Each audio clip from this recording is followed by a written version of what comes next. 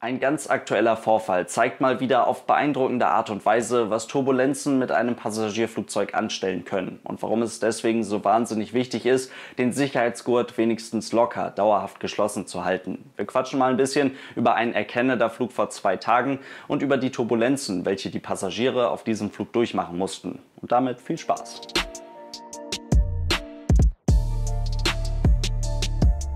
Und damit hallo und ganz herzlich willkommen zu einem neuen Video. Ich hoffe, es geht euch gut und ich wünsche euch allen ein schönes Wochenende. Vor zwei Tagen war eine Boeing 777 der Air Canada mit 269 Passagieren und 15 Crewmitgliedern an Bord auf dem Weg von Vancouver nach Sydney. Das ist eine Verbindung, bei der man richtig viel Zeit über den Pazifik verbringt. Auf Reiseflughöhe angekommen, flog die Maschine dann in für Piloten nicht immer direkt erkennbare und vor allem nicht immer direkt erklärbare Turbulenzen, sogenannte Clear Air Turbulence, die wie der Name schon vermuten lässt, in klarer Luft auftreten, sodass sie nicht zwingend durch irgendwelche in der Umgebung stattfindenden Wetterereignisse oder durch gewisse Wolkenformationen identifiziert werden können. Laut Aussage der Passagiere fing das Flugzeug dann irgendwann an zu wackeln, die Anschnallzeichen wurden eingeschaltet und direkt kurz darauf sackte das Flugzeug so massiv durch, dass die Leute, die bis zu dem Zeitpunkt eben noch nicht angeschnallt waren, aus ihrem Sitz heraus oder aus dem Gang heraus nach oben an die Decke gedrückt wurden. Dabei wurden laut aktuellen Informationen der amerikanischen Luftfahrtbehörde FAA insgesamt 37 Menschen verletzt. Das ist eine ganze Menge. Die Piloten führten daraufhin eine Sicherheitslandung auf dem Flughafen von Hawaii durch. Das heißt, die Maschine ist nicht weiter bis zum Zielort geflogen, sondern musste dann zwischenlanden und 30 der eben angesprochenen 37 Menschen wurden dann auch ins Krankenhaus gebracht, wobei bei neun Personen tatsächlich die Verletzungen sogar als schwer eingestuft wurden. Somit ist dieser spezielle Air Canada-Flug wieder ein gutes Beispiel für unvorhersehbare, ziemlich brutale Turbulenzen, die dem Flugzeug an sich und auch dem sicherheitsrelevanten Equipment an Bord zwar keinen Schaden zuführen, die für Passagiere und für die Crew aber sehr gefährlich werden können. Die Fluggäste wurden auf Hawaii dann erst einmal versorgt, wurden dann in Hotels gebracht und sind mittlerweile wahrscheinlich mit anderen Flugzeugen auf dem Weg zu ihrem Zielort. Die Maschine ist gestern zurück nach Vancouver geflogen und wird dort jetzt sicherlich noch eine Weile weiter untersucht, bevor man das Flugzeug dann wieder zurück auf die Linie schicken wird. Keine Ahnung, wie lange das dauert und ob man da irgendwelche Schäden feststellen kann, denn es ist ganz klar davon auszugehen, dass Passagiere definitiv vor dem Flugzeug schlapp machen. Und das ist sicherlich für jeden sehr interessant, der vor genau solchen Situationen im Flugzeug Angst hat. Erst einmal muss man natürlich sagen, dass die Wahrscheinlichkeit, in eine solche Situation zu kommen, sehr, sehr gering ist. Obwohl das jetzt wahrscheinlich nicht wahnsinnig befriedigend ist, damit Wahrscheinlichkeiten zu argumentieren.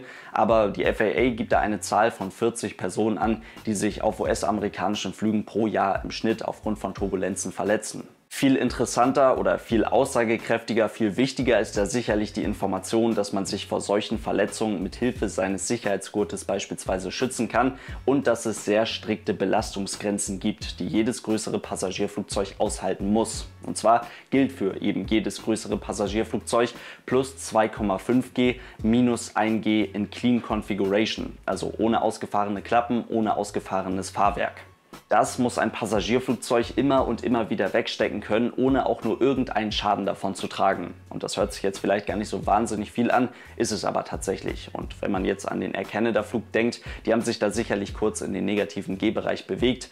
Aber wenn man mal bis zur Grenze geht, minus 1 G, das bedeutet, dass die Passagiere mit ihrem eigenen Körpergewicht aus dem Sitz herausgezogen werden. Also es ist quasi so, als würde die ganz normale Schwerkraft wirken, nur halt eben falsch herum.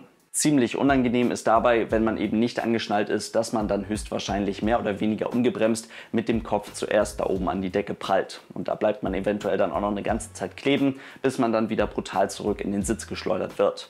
Ja, also man kann ja mal nicht mit den Füßen zuerst vom Sofa springen, sondern mit dem Kopf. Dann hat man seine ganz persönliche minus 1 G-Simulation fürs Flugzeug. Nein, macht das bitte nicht. Worauf ich hinaus möchte, ist, dass die hier gesteckten Grenzen, die Belastungsgrenzen, die ein solches Passagierflugzeug noch ganz müde weglächeln kann, dass die für die Passagiere und für die Besatzung schon absolut unangenehm sind. Und wie glücklicherweise so oft in der Luftfahrt, und das kann man auch gerne, wenn man vor solchen Situationen Angst hat, im Hinterkopf behalten, wird da oben nochmal ein Sicherheitsfaktor oben drauf gelegt. Und der liegt hier bei 1, 1,5.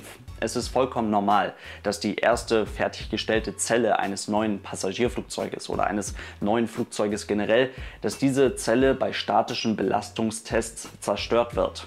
Denn nur so lässt sich wirklich herausfinden, was das Flugzeug, was der Rumpf der Maschine, was die Tragflächen des Flugzeuges, was das alles wirklich aushalten kann. Das zu berechnen ist ja schön und gut, aber um diesen Test, um diesen Zerstörungstest kommt kein neues Flugzeug drumherum. Und jetzt Vorsicht für die Leute, die wirklich Flugangst haben. Hier sieht man mal die statischen Belastungstests einer 777.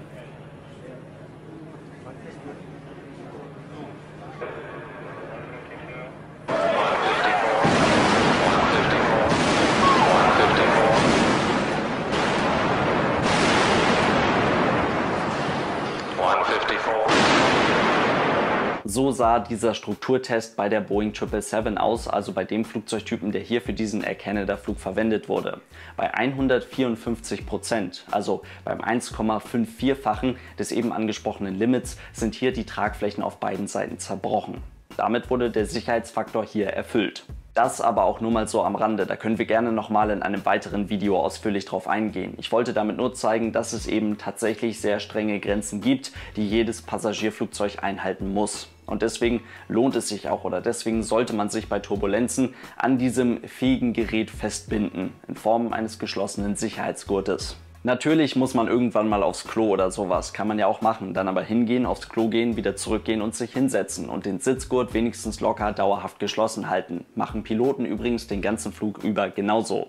Am schwierigsten ist das natürlich für die Flugbegleiter, die einen Großteil des Fluges unangeschnallt durch die Kabine laufen müssen und deswegen auch häufig mit zu den Verletzten gehören. Aber auch die setzen sich hin, wenn es ihrer Meinung nach zu sehr wackelt oder wenn sie die Anweisung dafür bekommen, sich hinzusetzen. Also, wenn das Flugzeug wackelt, die Anschnallzeichen sind eingeschaltet, alle sitzen auf ihren Plätzen, dann nicht aufstehen und das Gepäck durchwühlen. Nur weil man meint, man kennt das ja mit den Turbulenzen, die können einem doch eh nichts anhaben als Vielflieger einfach sein lassen. Ich habe es auch gerne mal gesehen, dass Leute dann einfach die Gepäckfächer offen gelassen haben. Warum? Einfach nicht machen und auch nicht darüber ärgern, wenn der Service mal wieder eingestellt wurde, weil es mal wieder nur so ein bisschen wackelt und mal wieder dann am Ende des Tages nichts passiert ist. Es gibt genug Beispiele, bei denen was passiert ist. In diesem Sinne soll es das heute gewesen sein. Vielen lieben Dank fürs Zuschauen. Ich hoffe, dass ein paar interessante Informationen für euch mit dabei waren. Ich freue mich wie immer auf Feedback zum Video und dann wünsche ich euch noch ein schönes Wochenende. Lasst es euch gut gehen. Bis morgen und tschüss.